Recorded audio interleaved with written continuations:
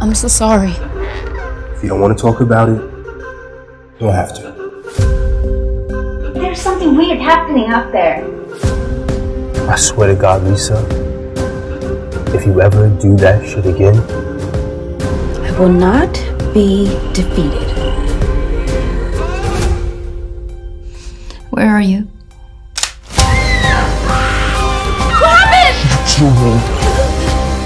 It was my fault.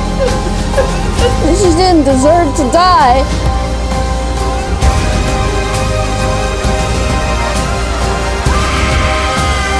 Why is this happening?